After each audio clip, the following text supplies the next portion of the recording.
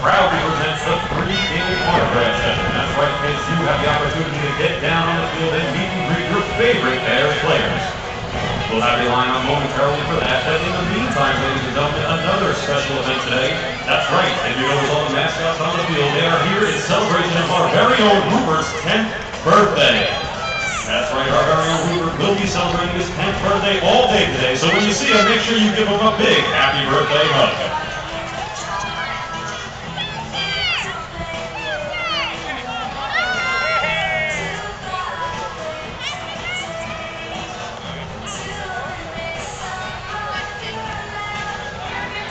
Pitch for today's contest is scheduled for 1.35 p.m. and the slated starting pitchers are for the visiting Patriots, the right-hander number 26, Jim Dufresne.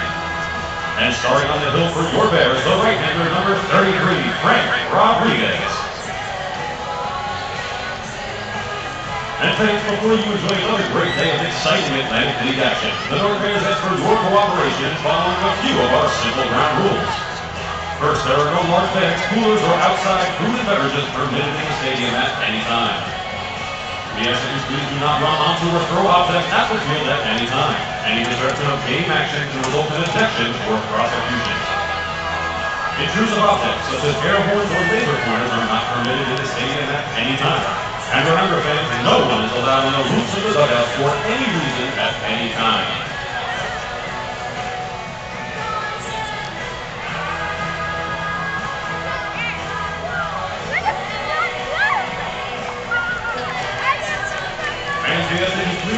Please profanity or any form of abusive language that includes comments relating to race, creed, and sexual orientation. The Newark Bears are committed to providing a family atmosphere to you, our fans, at all times. There is also no smoking allowed inside of Bears and Eagles Riverfront Stadium. Should you wish to smoke, the designated smoking area is outside of Gate C. Please see one of our ushers or Bears staff members if you need assistance in locating this area. Here again, then, every baseball fan likes their action fast and furious. Foul balls are not only fast and furious, but dangerous as well. The state of New Jersey asks that all fans be aware of their surroundings and rules that we are not responsible for any injuries caused by objects